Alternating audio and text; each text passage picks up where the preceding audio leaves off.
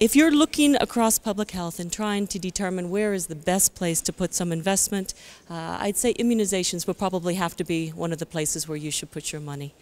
Uh, immunization has averted an estimated two to three million deaths every year, and it could be more. It seems like nearly 22 million infants are missed.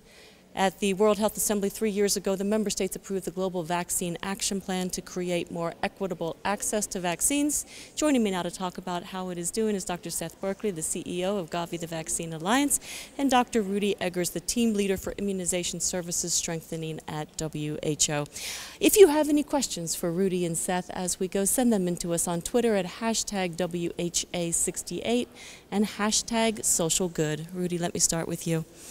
Tell me a little bit about the Global Vaccine Action Plan. What is it and what's it trying to achieve? Okay, thank you very much. Uh, actually, the whole thing started when uh, the immunization world decided to call the decade from 2011 to 2020 the decade of vaccines and had the vision articulated that all individuals and all communities would be free from vaccine preventable diseases within this decade.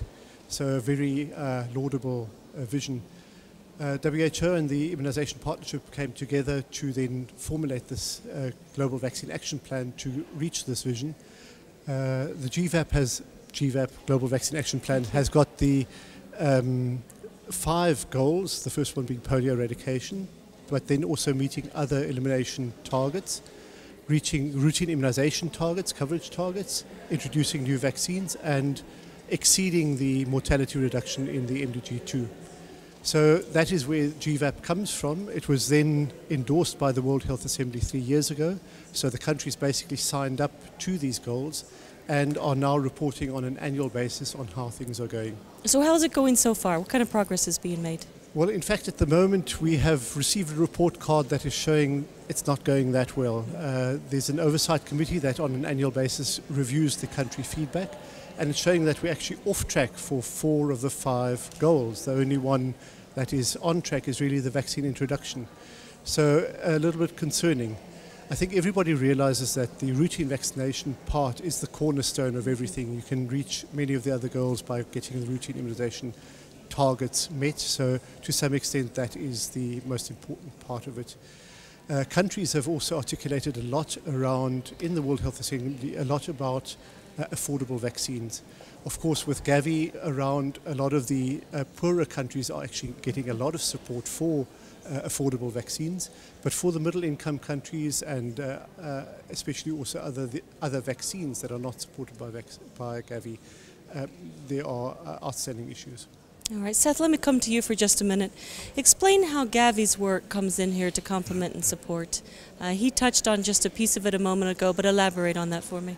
Thank you, Christy. Let me first start with your original piece, mm -hmm. which is vaccines are the most cost effective mm -hmm. intervention. It's also the intervention that touches more children's lives than any other. We've been able to immunize every child on earth for smallpox. We've done it pretty much for polio, and so we know we can do it, and that's important given how cost effective it is. Mm -hmm. So Gavi's role in this is we focus on the 73 poorest countries, and obviously this is a subset of the ones that are included in this Global Vaccine Action Plan, but the vast majority of the population and where the biggest problems are. And we're working to try to introduce new vaccines. That was our primary purpose, but to lift up coverage and to strengthen their health and immunization systems.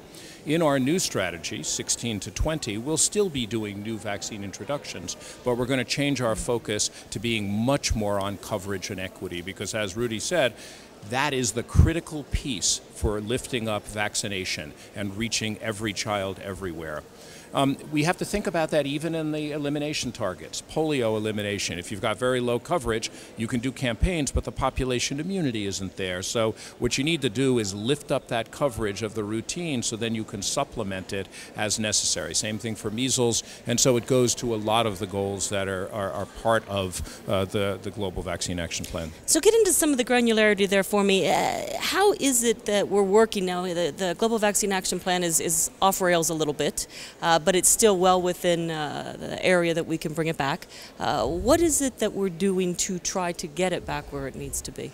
So the critical issue there is to try to go ahead and focus on countries that have low coverage. Now you mentioned 22 million. Those are children that are under immunized, that they are served, some of them with, uh, for example, a pentavalent one vaccine, but don't receive the third vaccine there are a much smaller number of children that actually have no access to vaccines at all.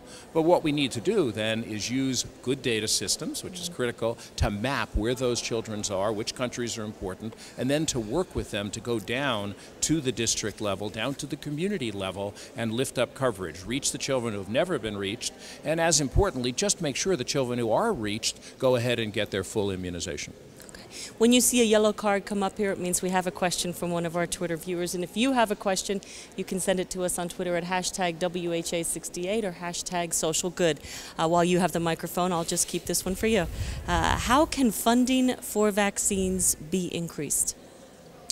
Well, first of all, um, we are, are, very lucky. Um, Gavi had its replenishment conference earlier this year, hosted by uh, the Chancellor Angela Merkel as part of her G7 presidency.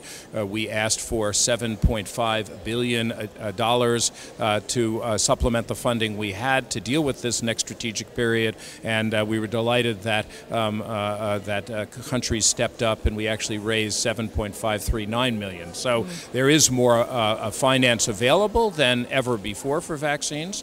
But the critical issue is also how we increase domestic financing for vaccines mm. in countries. And on the Gavi side, we've gone from an 11 to 15 period, a uh, countries putting in close to uh, half a billion dollars. In this new period, 16 to 20, they will be financing 1.2 billion dollars. So a 250 percent increase. And I think the challenge for us is to continue to focus on building that capacity and finance, because eventually these countries will need to take on the cost of their vaccines. So people really understand the return on the investment of vaccines. Absolutely. Rudi, let me come back to you now. What's happening this week at the World Health Assembly in regards to the immunizations? So um, the biggest part is actually the report back on the GVAP, on the Global Vaccine Action Plan, where the countries actually on an annual basis uh, come back to the Secretariat and report on how things are going to reaching that. And uh, that's basically the discussion in the, um, in the plenary discussion, there was a resolution that was proposed that actually talks about the affordability of vaccine. So, on your question, how can funding be increased? I think that's the one part of the story, and I think uh, Gavi is supporting that greatly. The domestic funding, as was pointed out, is really important. The other part is the affordability of the vaccine. So, as we gear up the production of vaccines as more and more countries use the vaccine, of course, the economies of scale that kick in as more manufacturers um, produce these vaccines, they become more affordable. And that was really what the resolutions was about to, to make vaccines affordable for, everybody. Okay, Seth. If I can just add one point, um, it was a very interesting meeting that uh, Margaret Chan uh, convened here at the WHA, where she called on ministers of health of countries that were off track, that had low coverage figures, to come together and discuss it. And, and it was an interesting discussion because, as they said, this is a club that nobody mm. wants to be in, and that each one who is in it wants to be in as short as possible. So, advocacy and engaging the political leadership on taking this seriously and, and moving forward on this is absolutely critical. Seth, while you have the microphone there, you were just touching on your 16 to 20 strategy. Uh, broaden out for me, if you would, looking ahead into the post 2015 development agenda, uh, where do we need to go with vaccines? Well, I mean, from my perspective, vaccines are the, the, the, critical building block of universal health care. As we think about progressive universalism, what you want to do is take out, with the money that you have, the most cost effective interventions. Now, that's not necessarily normally the way uh, health is budgeted. Often, uh, uh, demand will lead to facilities, for example, in capital cities or tertiary facilities. And, and by following a plan that looks at the cost effectiveness, the effects of the intervention, you then can maximally get the, the best uh, uh, value for money out of your intervention. So as we think of the health side, this is going to be an agenda that is going to look at how do we expand coverage to those who need it. Obviously critical post-Ebola is to think about how we have better data and surveillance systems, which is going to be critical to stopping uh, outbreaks. And obviously it's critical that the IHR, which was a topic of discussion here, are, are, are strengthen the ability for countries to engage in that. That's going to be critical for us to be able to do this going forward. One last question for you from our Twitter viewers. How can we help countries, now this is talking specifically to cervical cancer, uh, how can we help countries scale up HPV, that's human papillomavirus vaccinations, and that's the, the virus that causes cervical cancer? You want to take that, Seth, or you want to take that, Rudi? I, can- I can start. Um, so it's interesting. Uh, HPV vaccine is a very effective vaccine. Uh, uh, cervical cancer is a cancer that is increasing. It's killing right now 275,000 women a year. But by 2020, if that is not, um, if we don't do something about it, it's actually going to increase. And it actually today is killing about as many or perhaps more women than childbirth. And this is because childbirth deaths are going down. Is that so right? that is absolutely true and why it's a priority. So the challenge is that this vaccine is delivered to adolescents and adolescent girls particularly. We don't have a standard and easy to use delivery system in most countries. So um, Gavi has engaged in our countries with demonstration projects initially, working with a district, ideally an urban and rural one, to try to roll the vaccine out and show that we can reach not just the girls in a school or in a health facility, but those that aren't in school because they may be at higher risk. If they show value, then we go ahead and move towards a, a full rollout on the country. And we expect to be able to uh, vaccinate 30 million girls in um, up to 40 countries by 2020. Of course, at the end, the goal should be to have every girl and ideally every boy vaccinated against this uh, terrible disease. Rudi, did you want to add anything to that? Well, just on the delivery methods, I think that is, as Seth has said, uh, a key point. Up to now, we've been focused on the infant, the below one or below two year old, and this actually expands along the line of the Global Vaccine Action Plan, the target groups. And to us, that development of the platform, the immunization platform for HPV, but for all other vaccines that are available, going into adult age, even uh, the elderly, I think is what uh, GVAP also calls us to do, is not to remain in the infant or even child health area, but go beyond. Terrific. Thank you both for joining us. I'm going to have to let you go and leave it at that, uh, but thank, you. you. for coming by. Thank you Uh, very much.